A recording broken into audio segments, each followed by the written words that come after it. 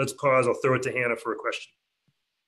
Your story is incredible, and you seem to maintain such a positive attitude and seems like you see yourself as a survivor and not a victim despite what you've been through.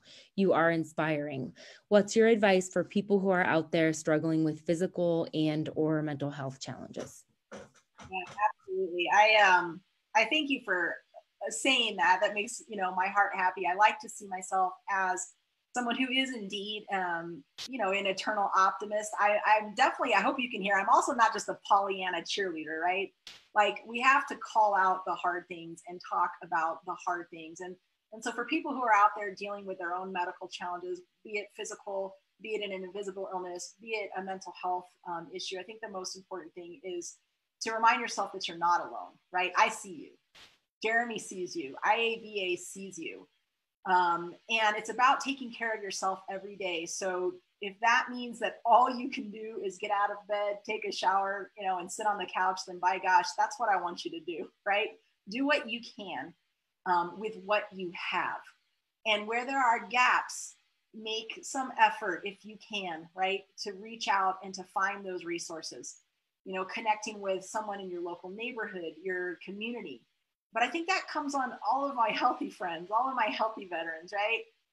Take the time to reach out.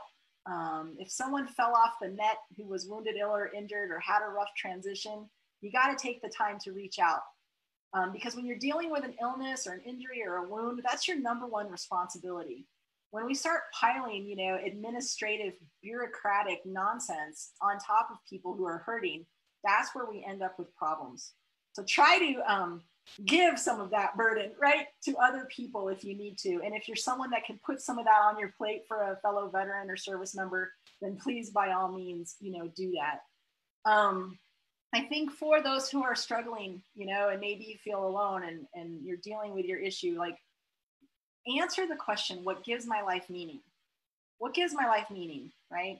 I still can't read or write. I'm looking right at you guys right now. I can't read or write very well. I have major autonomic nervous system problems. I have a balance deficit because the infection ended up on my brainstem and there's a scar there and it causes issues that just aren't going to go away.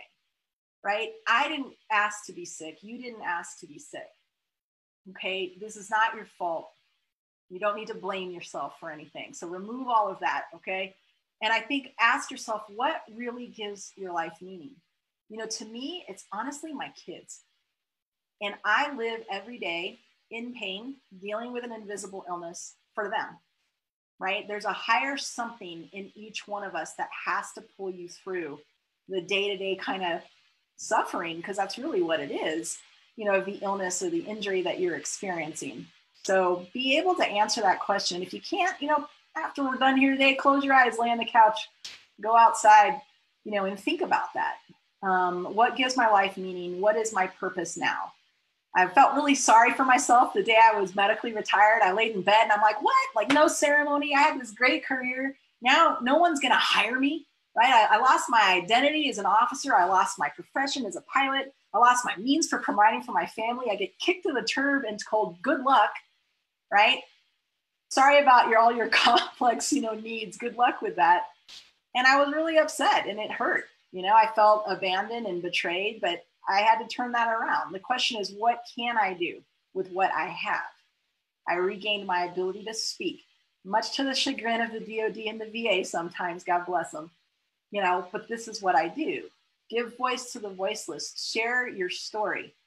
And the thing I remind myself at my worst moments, because I still have those moments, is I say, Nicole, just like in flying, the runway behind you is always unusable. All you ever have is the runway in front of you. Don't go back. You didn't do anything to ask for or deserve your wound, your illness, or your injury. Not your fault. Move forward. Sorry. That's a no. to all y'all out there.